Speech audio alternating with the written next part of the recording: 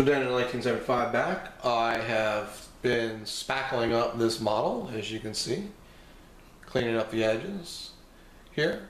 Um, when the stuff dries, I'll be sanding it.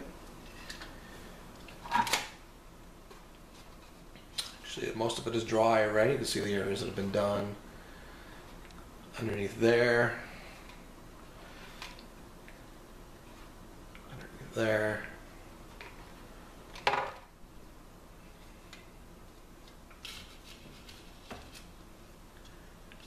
Cells. And those areas. Those spots right there. And the missile.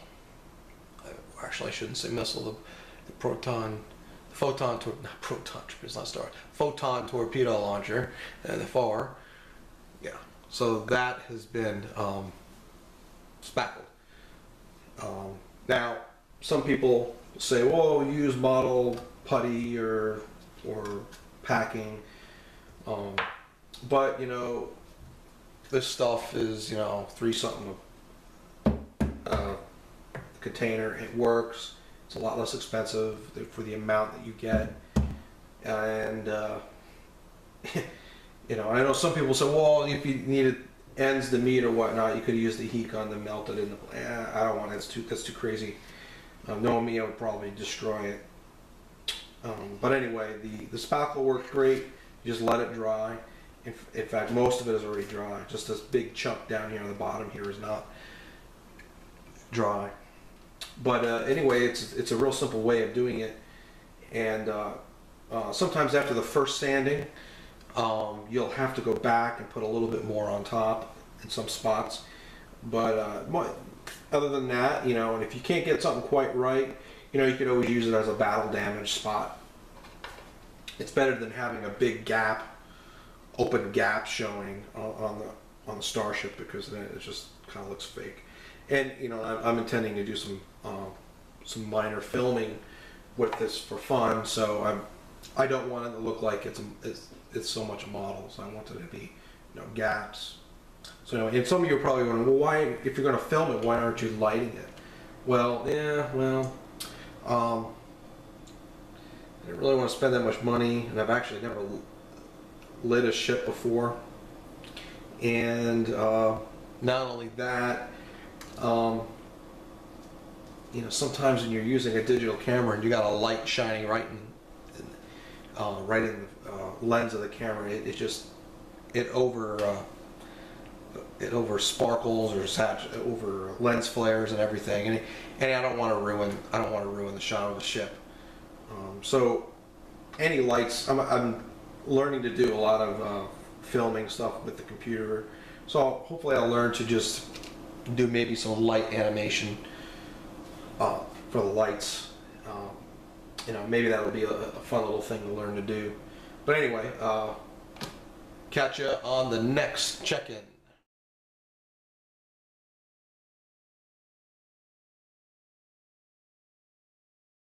All right, back again. Um, most of the spackle has dried and has been sanded. Um, sanded smooth. It's probably hard to tell in this, but it is. Uh, it's uh, pretty smooth up in these corners and stuff, and up in here, and the photon torpedo launcher. The, uh, the edges up in here are pretty good. And uh, back here doesn't really look great. Um,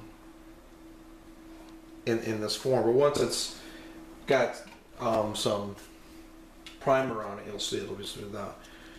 And uh, up in this region, oops, in this region,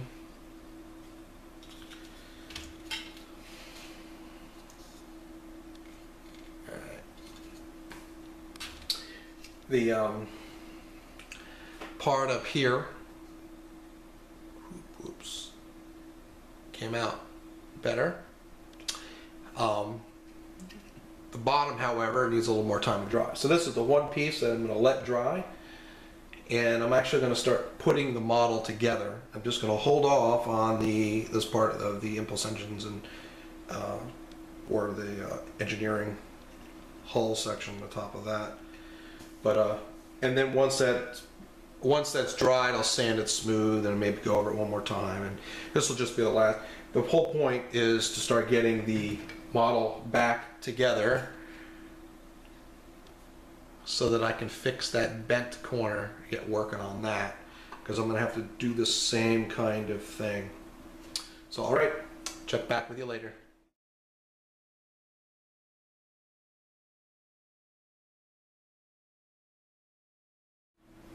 Back again here, um, just to bring an update on the Klingon Katung, K't'inga. I always want to say Katanga for some reason. K't'inga battle cruiser. Anywho, um, most of it's together. Again, still letting this dry.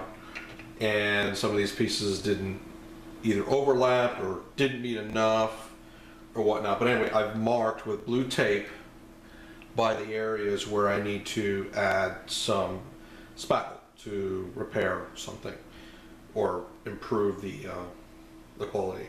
So anyway, uh, just wanted to show that. Um, funny thing, the the piece that was bent when it came in the package, um, just before I went to glue the, the the cells on, it managed to break off. And but anyway, I was able to find the piece and glue it back in the area. So then with a little bit of vinyl packing and smoothing out, it's going to be quite nice now. It's actually went together better that way because it broke off and then I put it, glued it back on. But anywho, um, I will catch you all on the next.